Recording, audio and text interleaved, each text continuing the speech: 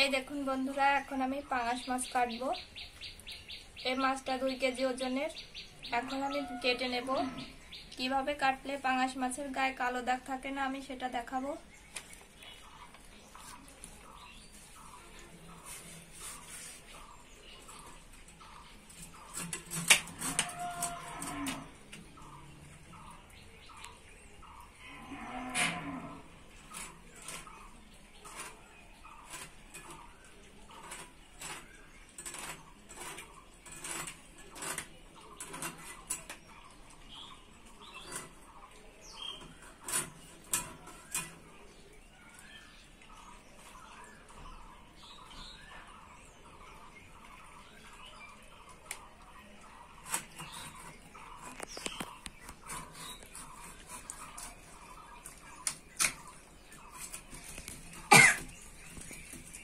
এই দেখুন, আমি কড়াই মাজার নেট নিয়ে নিয়েছি।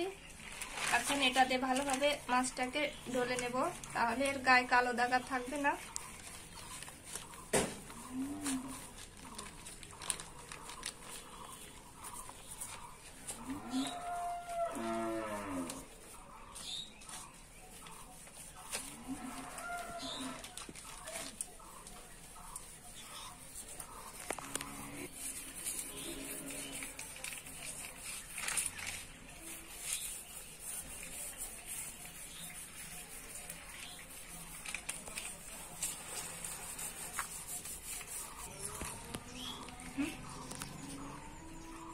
এই দেখুন, মাছটা কতটা সাদা হয়ে গেছে।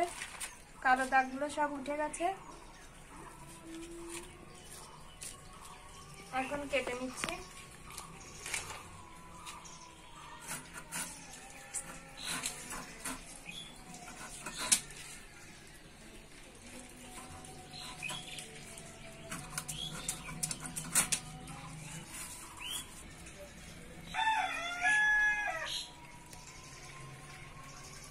দেখুন মাছের পেট থেকে কতটা তেল বেরিয়েছে।